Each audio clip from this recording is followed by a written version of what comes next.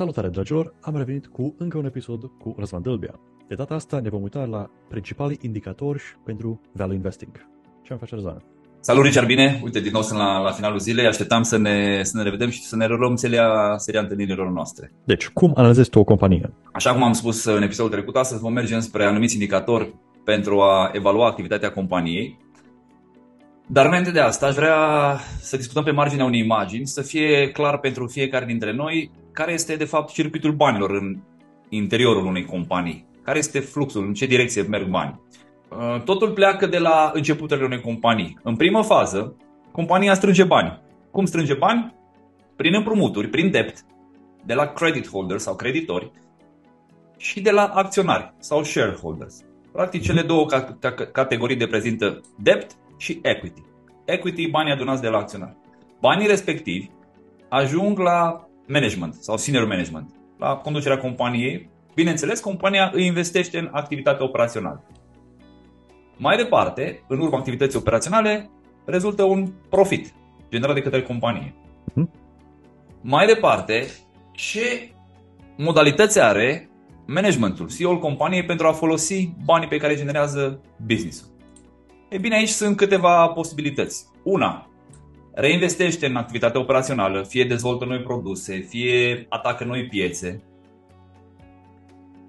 A doua, își plătește împrumuturile pe care le-a contractat.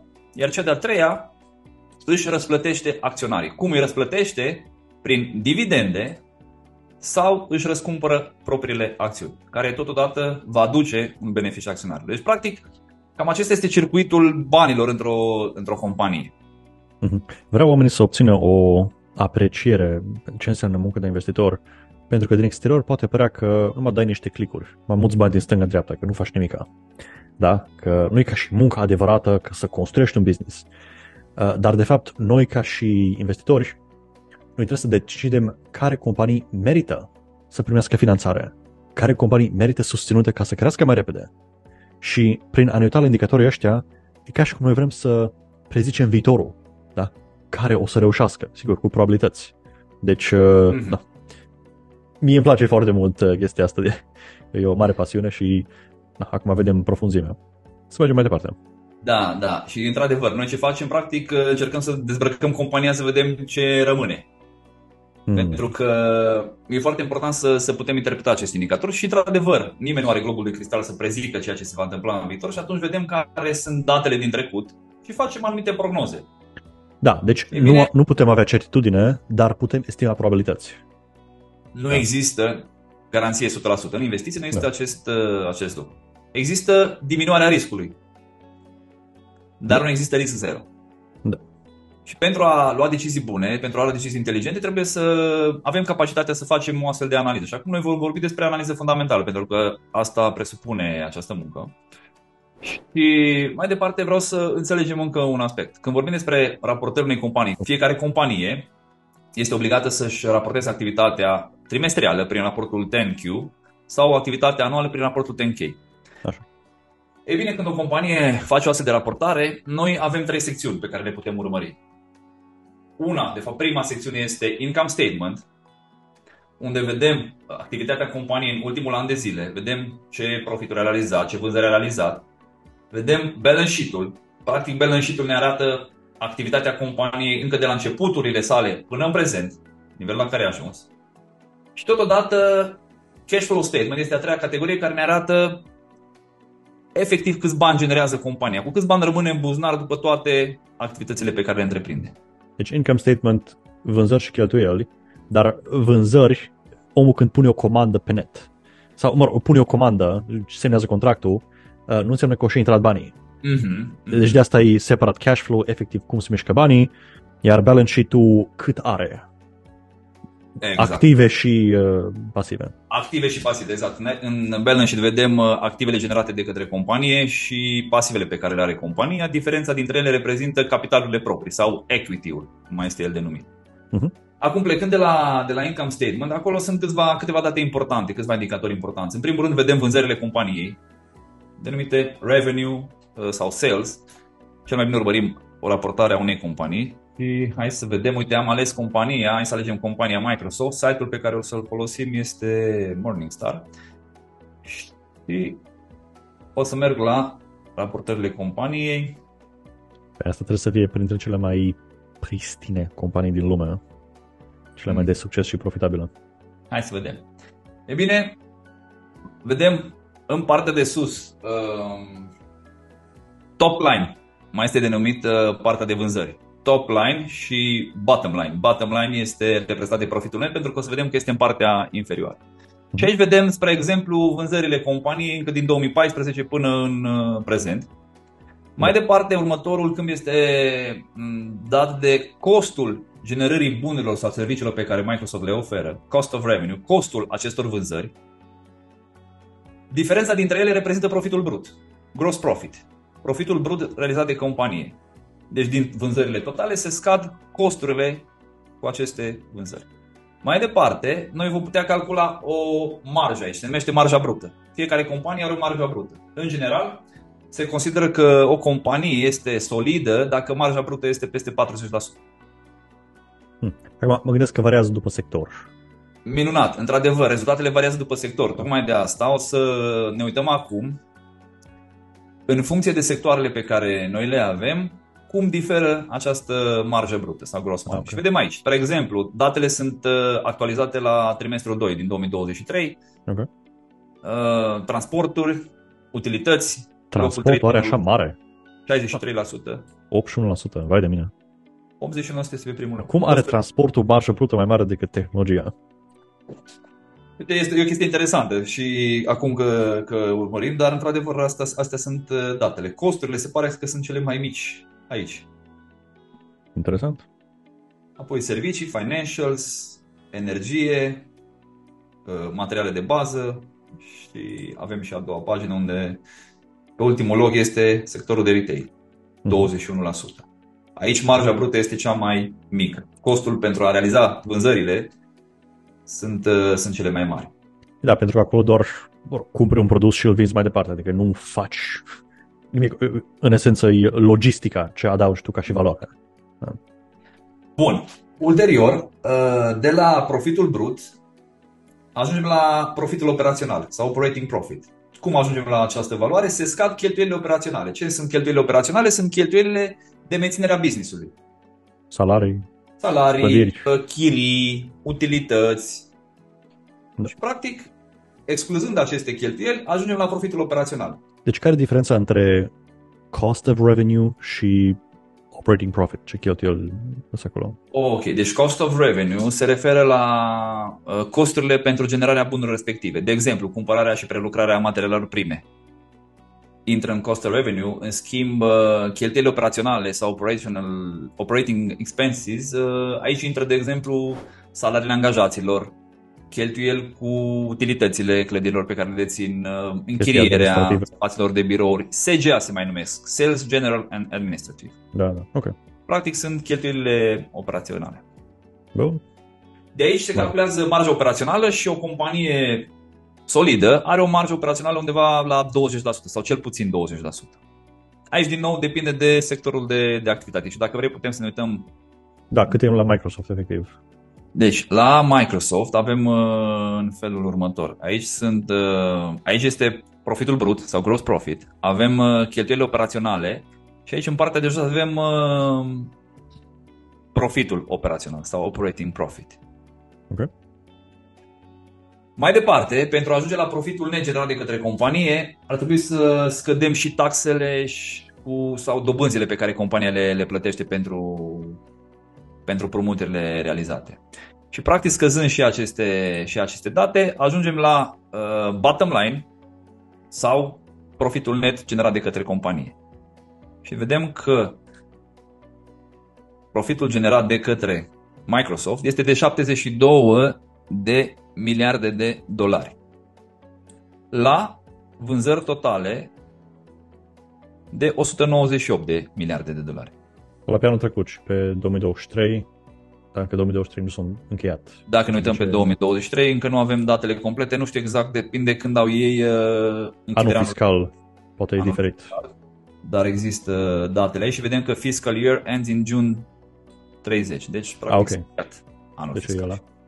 Pentru a ne uita la marjele operaționale, marja brută, marja mm, netă, o să vedem uh, în 2023, observăm marjă brută 69% aproape, marjă operațională 41% și vedem profitul sau marja netă, care reprezintă raportul dintre profitul net și vânzările totale, 34%. În general, o companie solidă, o companie bună, este undeva peste 10%. Mhm. Dar acum, din nou, depinde de sector, pentru că în sectorul de tehnologie uh, marjele sunt, uh, sunt puțin mai mari. Dar 34% este o marjă solidă. Oricum impresionant la mărimea asta. Adică la vânzări de 211 miliarde, din la 34% să fie net. Într-adevăr. Deci acestea sunt câțiva, câțiva indicatori din income statement. Uh, Mai departe, ce, ce urmărim? Urmărim uh, câțiva indicatori de, de profitabilitate. Se calculează în funcție de aceste date. Sunt două indicatori pe care, pe care putem urmări. Există return on equity și, mai important, return on invested capital. Return on equity, ce ne arată? Ne arată cât de bine investește compania banii acționarilor. Și aici există, din nou, există o marjă. Uh, Spre exemplu, dacă o companie are o marjă, un return on equity de 20%, înseamnă că pentru fiecare dolar investit de către acționari, ea generează 20 de cenți uh, profit. Ceea ce e diferența considerat între bine. asta și return on invested capital. Minunat. Și de ce zic că e mai important să urmărim return on invested capital? Pentru că foarte mulți investitori spun așa. Pentru a vedea cât de bine înțelege CEO-ul activitatea companiei sau cât de bine, uh, care este modul companiei, avantajul competițional, ar trebui să, ne, ur- să urmărim acest return on invested capital. De ce?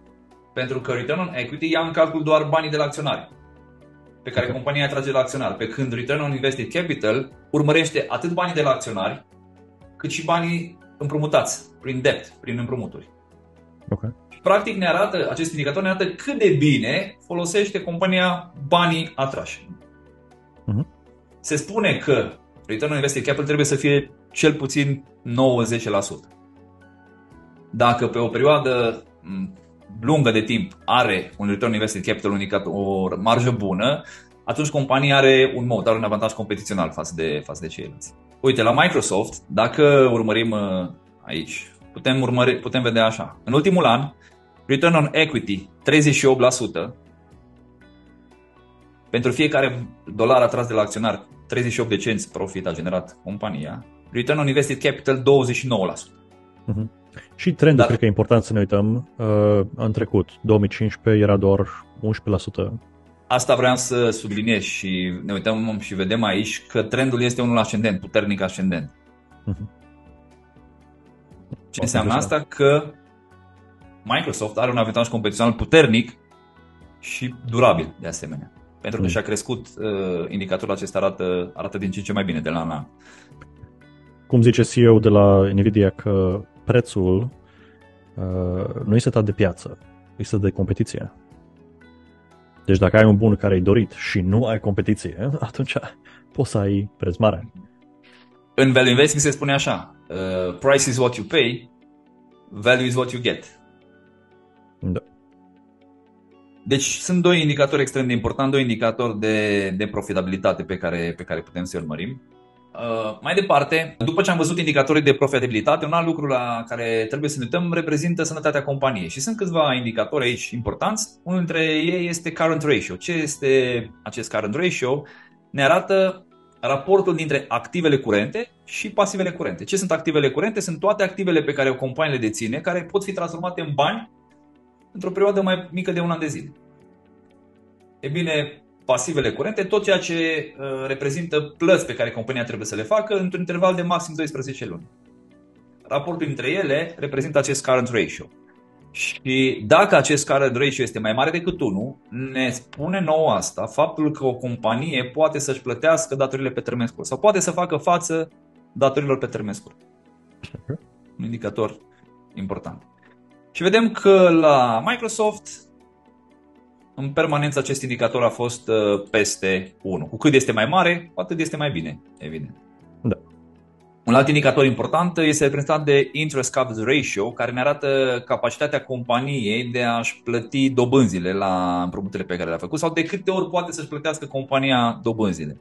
Da. E bine, cu cât este mai mare, cu atât este, este mai bine. O cifră peste 5 deja este o cifră bună. Vedem că Microsoft are un interest coverage ratio de 48,68. Adică nu are nicio problemă să facă față acestei situații. Deci ei fac de 48 de ori mai mult decât trebuie să plătească în înapoi Dobânzile la creditele, da. la împrumuturi pe care, pe care Leger. le... Bun. Acestea sunt, sunt uh, câțiva indicatori de, pentru care măsoară sănătatea companiei. Un alt indicator uh, important e debt versus equity. Acest debt versus equity. Ce ne spune acesta? Ne arată raportul dintre banii pe care atrage compania prin împrumut și banii pe care îi atrage de la acționari. Nu este bine ca o companie să aibă un raport prea mare, adică să se folosească prea mult de împrumuturi raportat la equity-ul atras prin uh, acțiunile pe care le emite. Cu cât este mai mic, cu atât este mai bine. O valoare mai mică decât 2 este ideală.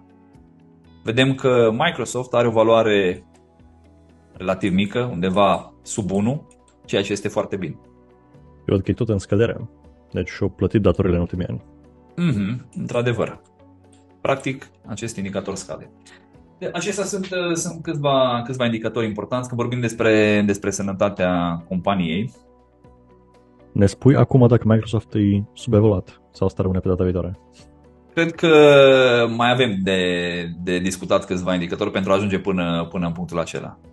Dar vom ajunge și... Uite, uh, de la episodul următor am putea să luăm o anumită companie și să vedem efectiv uh, dacă este o companie care reprezintă o oportunitate astăzi mm. sau din contră, nu reprezintă. Absolut.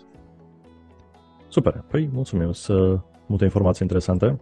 E bine, dacă vrei să pui în aplicare ce ai învățat, vrei să construiești primul portofoliu, avem un curs practic de 10 zile intens în grupe mici ca să faci exact asta. Dacă ți-a plăcut, te rog să lași un coment și să te abonezi. Mulțumim! Ne vedem data viitoare!